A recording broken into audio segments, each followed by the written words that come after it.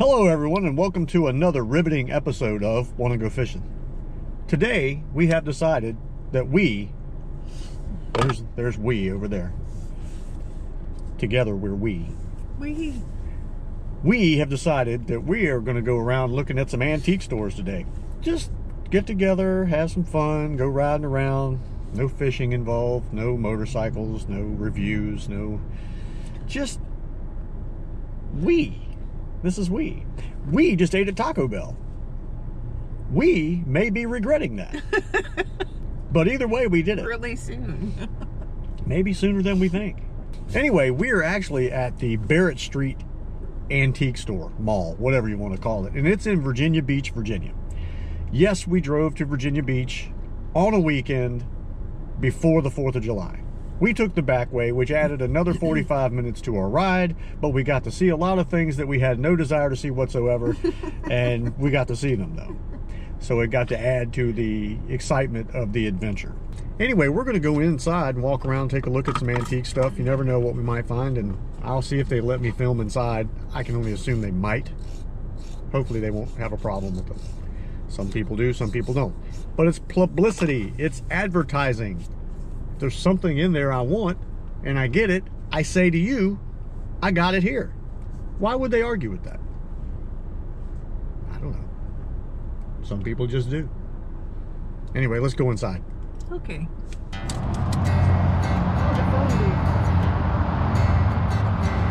Nah, nobody uses those anymore. now that's nice. Wonder if we can afford that. No!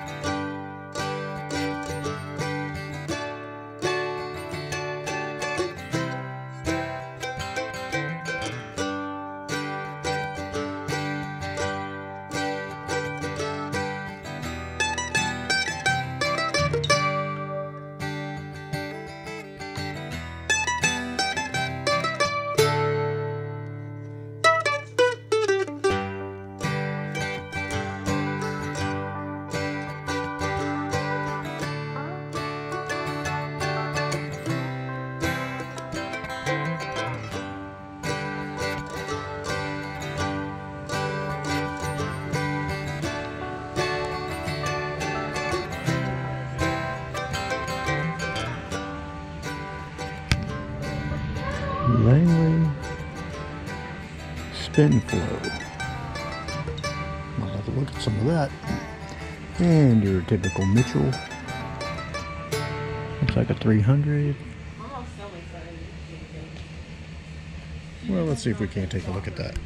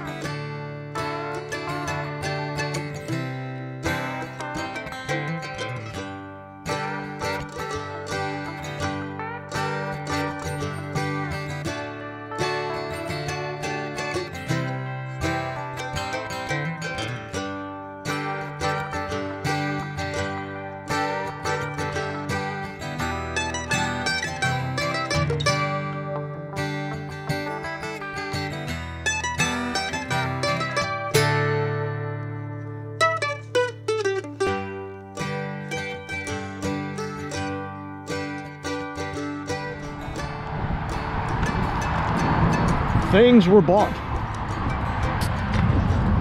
Oh my gosh, it is, it's hot. Anyway, some things were bought and I'll show you those when we get home.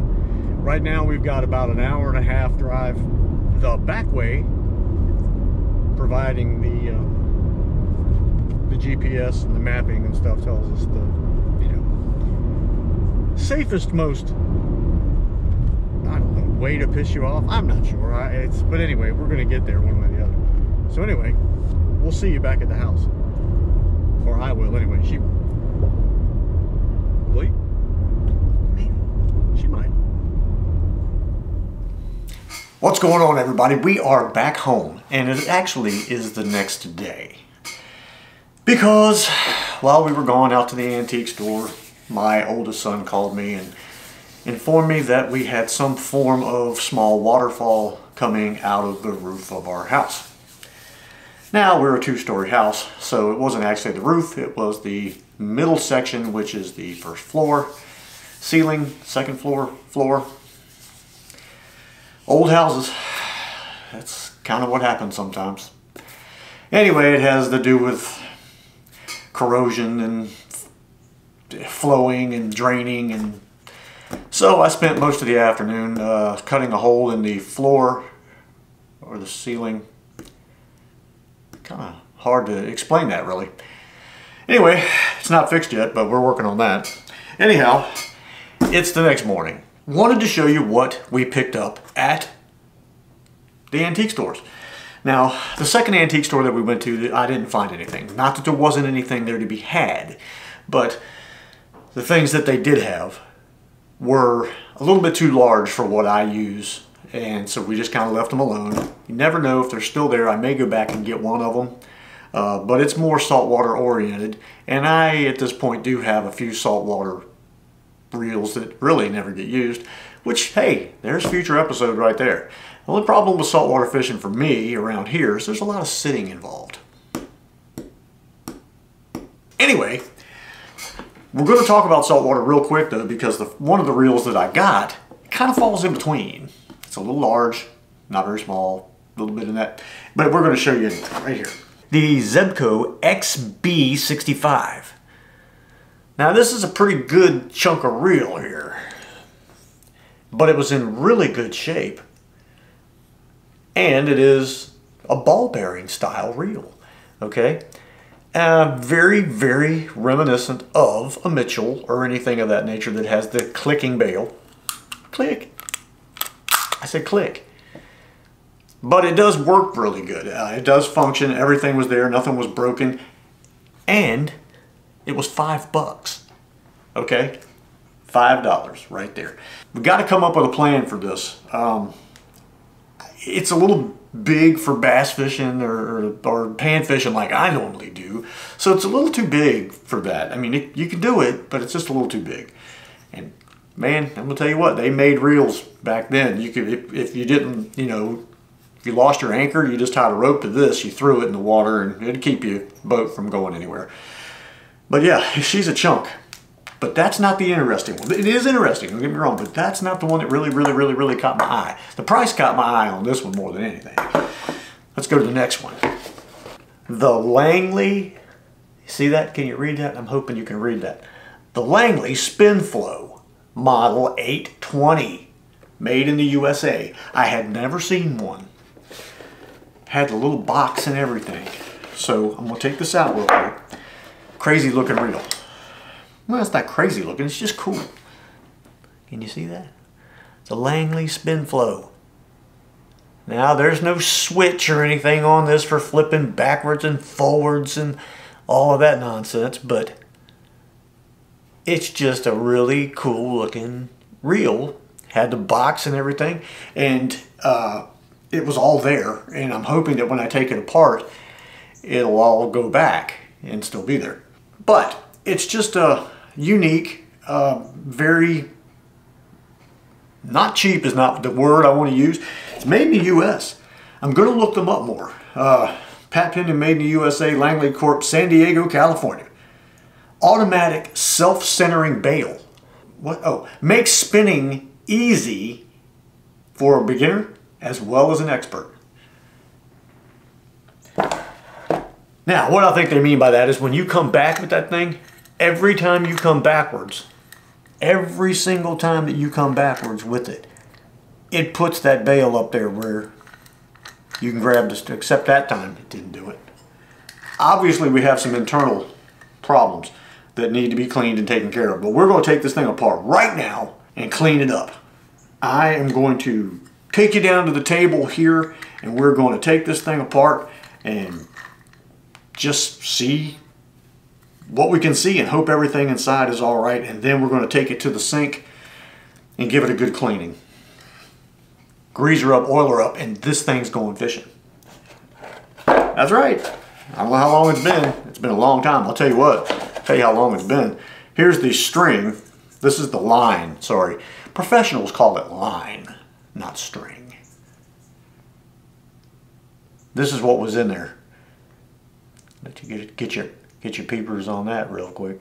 That's what was in the box. Seneca, 100 yards of 10 pound test. Limp monofilament processed from DuPont Tynex nylon. No idea. Let's get this thing apart. It's almost quarter to eight on Sunday. We get this thing put together quickly and get it working like it should. We're going to take a couple of reels out to the water, out to the lake and test these things and see. Maybe old Franken reel from the last video and the old SpinFlo. Okay, after further investigation, it looks as though that rubber piece that was in the bottom that is going to keep it with that spinning, again, automatic self-centering bail. It's a little rubber piece. That's all it is. It's just a little rubber piece that when it spins backwards, it pushes, might as well show you, it pushes that little hammer backwards and that's what locks that bail in every time to basically line up where you can grab the string and, and throw it. So what I did was, I, I didn't have any little rubber pieces like that, so I took an old ink pen, and it was one of the ink pens that have the rubber grip at the bottom. That's the rubber grip. I cut out a piece that looked like it should be the same length as what goes in there, and that's what we installed, and as you can see, it is in there pinched it back together on the little hammer and we're going to cross our fingers and hope that that will take care of the situation. Today's rubbers and plastics and things like that are a little bit better than what they were back in 1954. So let's put this thing back together again and hopefully you down with what I'm saying? I've got stuff everywhere. Scissors and needle nose and little dikes and little pieces of reel that I destroyed for no reason to try to... Oh, God. Just, what in the world? Started doing this at 7.30 this morning. It is now 10 minutes. Now it's 5 minutes to 10. See, you guys think that it's just a 20 minute video, but it's not. Okay, so here we go. The first thing that's got to go back in is our gear. That's the very first thing that has to go in here. So, let's get Give us a little grease here. And then we're going to push it through like that. And then we're going to work that thing around just a little bit. Get that grease going good in there. There we go. And we get the grease off of our fingers. Now, we're going to put this little housing back in. And there's only one way it can go. You're looking at it. Just like that. It's going to fit right back in there. And we have three little brass screws that have to go back in there. Did I mention I'm really, really hoping that uh, our little repair works? Wouldn't that be grand? Wouldn't that just be grandiose? There we go. So now you're going to see two more of those magically go flying in here. There we go. Now next will be, where's our gear? Our gear. That'll pop right in there like that. All right, now we're going to put our casing back on here, spinner. That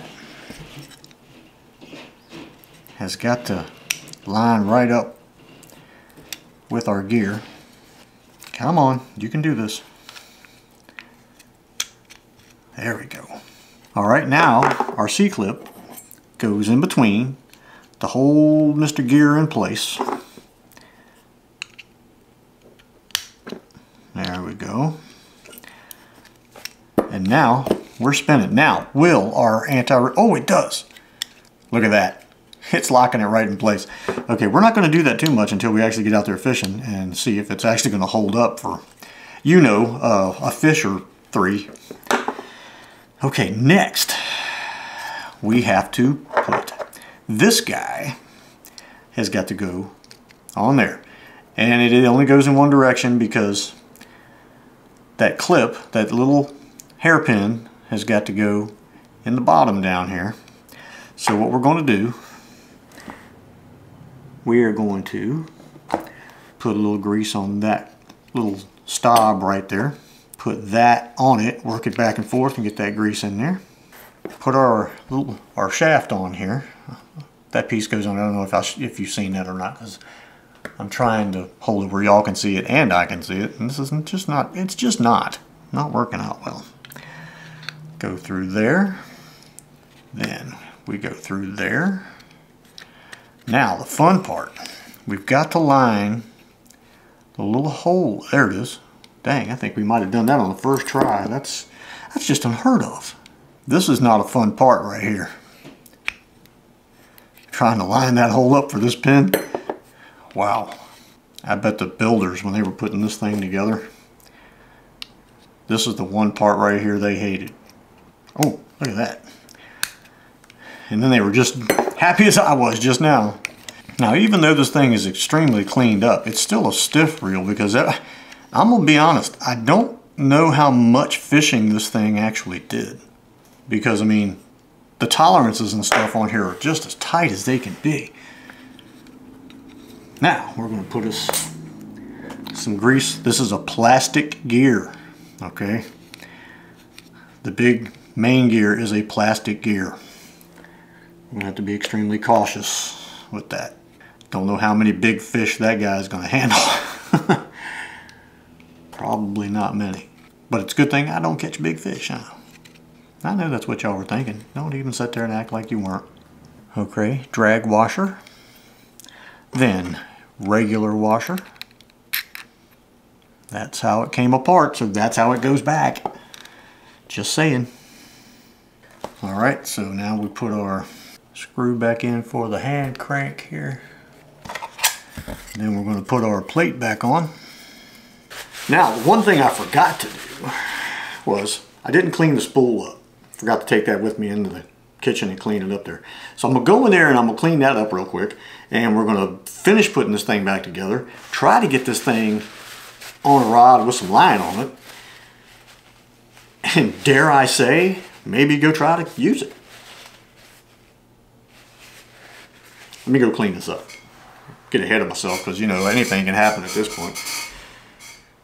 Now, for those of you who have really been sitting on the edge of your seat, here she is. All put together, all cleaned. And here's the funny thing. Okay, when you want to come back and catch that line to be able to cast again, it puts that spool every time lined up the bail for you to be able to get let me see show you again. Every time no matter where you put it the ink pen ink pen trick worked. So there you go. Sometimes you just have to dig into these things and try to figure out the technology of the time frame and and say hey does this work or does it not work? Well it did. It works. How long will it work i don't know the piece of rubber that was in there lasted until from 1954 until I brought it home. So who knows? Now what we got to do, we got to get some line on this thing. We, we got to go catch a fish. I don't care if it's just one. This thing has to catch a fish. So here we are. We're at the lake. And we got some six pound line on here. Just using a little Lew's Speed Stick that I had laying around with no reel on it. And this is going to be the very first cast in uh, a very, very long period of time. I'd love to say I got my hopes up high, but I mean, it was working just fine. Everything went back together, really clean. One thing I would like to say about this reel, it does have the kind of click in mechanism, but with this one, it pops into place and you can pop it out manually. You do not have to actually just crank on it to get it to work. But we're going to use what I had on it just to see we had some fish against the bank here. But all right, very first cast. Everybody keep their fingers crossed. That was a pretty good distance.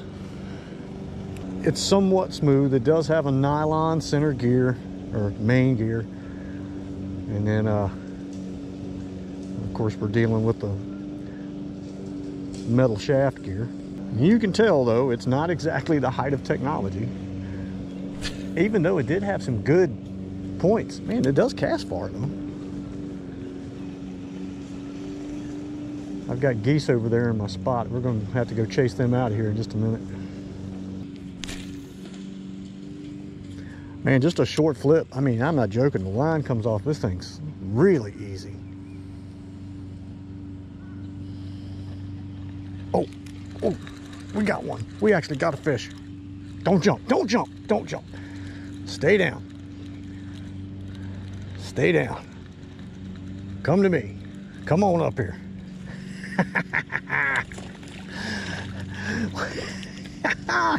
there it is, people. I don't know how long it's been. I got no idea how long it's been since this one has caught a fish, but stop that. Well, we got one. Look at that. Let me see if I can get a hold of this thing here. There you go. The SpinFlo. that was fun. Man, that was fun. Let's get a picture here with the old SpinFlo. Yeah, get on up there. I'm really surprised how far out that fish was. I mean, he was way out there.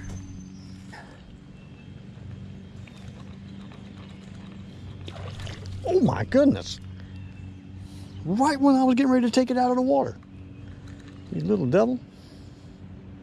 Scared me to death. Give old man a heart attack. Oh, we got a hit. Oh, I think we got a fish. Yeah, we do. Oh, that's a good one.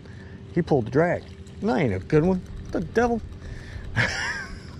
it's just a fish. Come on over here. What in the world?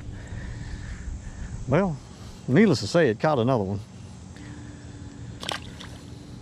That's two, but they're small and they're deep. I'm not quite understanding. I mean, I know it's hot mm-hmm. up here, but little tiny ones being out there that far. They're just serving themselves up for lunch. That? That's some kind of acrobat, what that is. Come here, acrobat. He hit pretty good. He thought he was something different. Somebody told him, you know, you're not a bass. You're a catfish. Get on out of here. And the Bitsy Minnow gets us one. Again, not a big fish. Don't know where the big fellows are at today. How about you not putting that hook in my hand today? These Bitsy Minnow hooks, man, they're sharp and they are small. Look at that guy. Where have all the big fish gone? Anybody tell me? Evidently, they're just not where I am. Try to bring that thing past that. Oh, oh, man, are you kidding? What's going on? Some aliens flew in and took all, took all the big fish. Man, these fish are like right in front of me. Um, I'm really overcasting, to be honest with you. Oh, that's a big gill. Oh man, that's awesome. That would have been awesome, is what that would have been. And had that have, you know, been up here, I would have showed you how awesome that was. Bitsy hooks, why are you not hooking? So I just want to say that I know some of you watched uh, last week's video and it was on the kind of the uh, Franken reel that I put together, the Johnson, let me get this right now, 110 citation put into a 110B frame. What we have it on now is a vintage, which is rare for me. Let me see which way it's titled here. A vintage Ted Williams 3. This is a fly rod, medium action, eight foot six. I figured it paired up with the old Ted Williams would be a good idea. So here we go, first cast of Franken reel.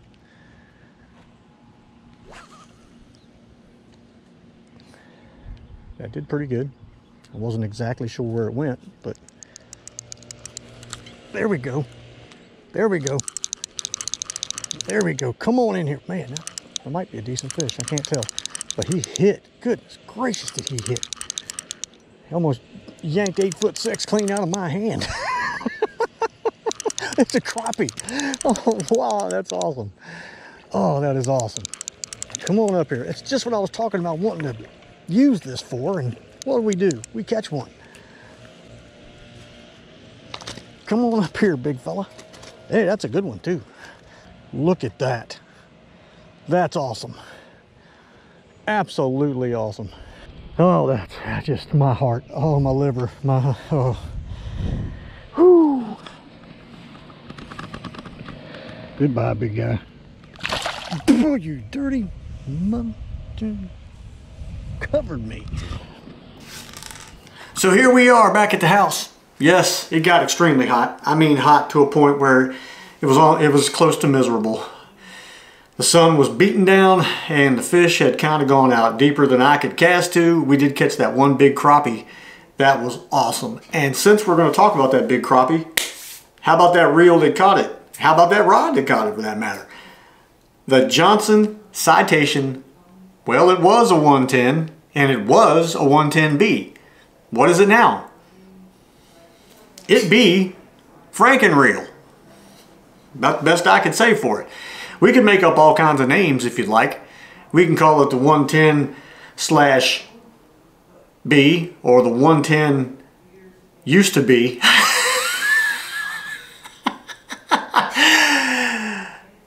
anyway, it worked well. It worked great. So that just goes to show you, you know, you can take those things. You can take the 110, you can take the 110 dash A, you can take the 110B or the 110A, then the 110B. They'll intertwine with each other. Some of their parts will mix together and you can make a reel. That's what we did. It was a great feeling to do that, to take two reels that weren't working, or at least not working well by any means, blend them together and make one that works really great, take it out there and catch a big old monster crappie. That was awesome. So let's get around now to today's video and what it was all about in the first place. We're going to talk about the Langley SpinFlo Model 820. This thing, man, worked. I'm very impressed. Now, the SpinFlo, I think the flow must mean how the line comes off of the spool because it casts really well, casts really far. The only thing, the only downfall really to this reel is there's a lot of plastic parts. You got a plastic spool. I mean, it's all plastic. You have a plastic uh, it's like a the shaft housing up top with the three screws where it went together. That was plastic. Then you have a plastic main gear. Nylon, plastic, whatever you want to call it. And I think that's where this reel right here, you probably would have found this thing stacked up on a little end cap in the old hardware store in 1954 where nobody was overly concerned about it getting stolen. Not that anybody back then would have stole one. We don't know really.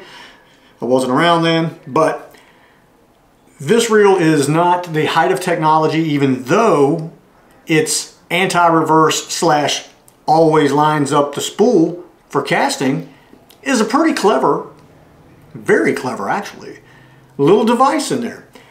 Of course we broke it, but I fixed it. Fixed it with an ink pen. That's the cool thing about doing this stuff. Figure out technology of the day back in that time frame and to see how it works and to be able to fabricate something that makes it function again. That's very cool to me. Very cool. That reel would have never gotten fished again. If somebody else would have bought it, it probably would have ended up in a Bass Pro Shops in some cabinet somewhere that looked like a, you know, 1950s diorama of, you know, somebody catching a bass or trout or whatever. But fact remains, it did work. Both of those reels worked really well. And I'm really impressed with it. I had a great time doing that. I hope you enjoyed it. That, uh, that one crappie was really worth the entire build process and even though it was caught on the uh, the reel of last week's video but to catch the fish that we did catch to even miss the fish that we missed missed the fish, to, fish to, to not catch the fish that tried to, we missed some fish we didn't catch them but other than that it did fine again is the SpinFlo the Cadillac of spinning reels no no it's more like the AMC Gremlin of spinning reels. It does the job. It does what it's supposed to do. It just, it doesn't do it comfortably. It just does what it's supposed to do. Maybe it's more like the 1963 Beetle of spinning reels. It does what it's supposed to do.